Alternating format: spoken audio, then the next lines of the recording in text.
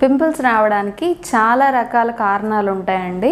మొదటగా మనం చూసుకున్నట్లయితే స్కిన్ లోపల సీబం అనే ఆయిల్ ఒకటి ప్రొడ్యూస్ అవుతుంది. ఇది మరి ఎక్కువగా ప్రొడ్యూస్ అయిపోయినట్లయితే మనకి ఆయిలీ ఫేస్ అయిపోయి దానివల్ల మనకి పింపుల్స్ రావడం అనేది జరుగుతుంది. ఇది కాకుండా ఏమైనా బ్యాక్టీరియా ఇన్ఫెక్షన్ ఏమన్నా అవ్వచ్చు.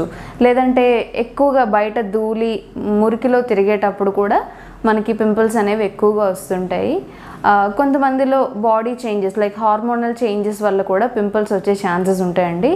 ఇలా ఎక్కువగా మరీ ఎక్కువగా అన్కంట్రోలబుల్ పింపుల్స్ ఉన్నప్పుడు క్లిండామైసిన్ అనే ఆయింట్మెంట్ని మీరు యూస్ చేయొచ్చండి.